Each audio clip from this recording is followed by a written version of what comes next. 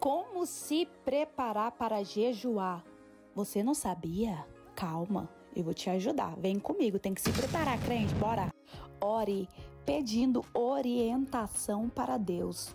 Tudo tem que começar debaixo de oração. Se organize, organize o seu horário. Quanto tempo você vai buscar a Deus? Quanto tempo para orar? Quanto tempo para ler Bíblia? Isso é muito importante.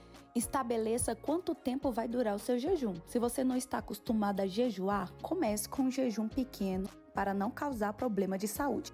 Você sabia que existe vários tipos de jejum, como jejum parcial, jejum de Daniel, jejum somente de água e o jejum total. É muito importante você escolher um. Agora vamos para a dica bônus. Lembrando que jejum não é dieta. Você precisa ter um momento a sós com Deus, como louvar, ler Bíblia, orar. Crente que ora tem poder. Aproveite e tira as distrações qual cidade você acabou de ver esse vídeo. Escreve aí, terra.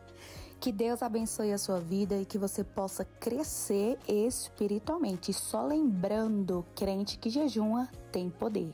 Tchau, tchau. Ah, calma aí, calma aí, calma aí. Me segue para mais ensinamentos espirituais.